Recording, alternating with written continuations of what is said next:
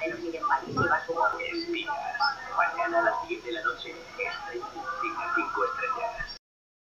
Está a punto de vender un arma nuclear táctica compacta a una organización terrorista y no sabemos dónde está ni ella ni la bomba. Esta no es una misión cualquiera. Voy a recuperar esa bomba. Está claro que el adiestramiento de la CIA ya no es lo que era. Ese embajadero sigue en París y va a su boda.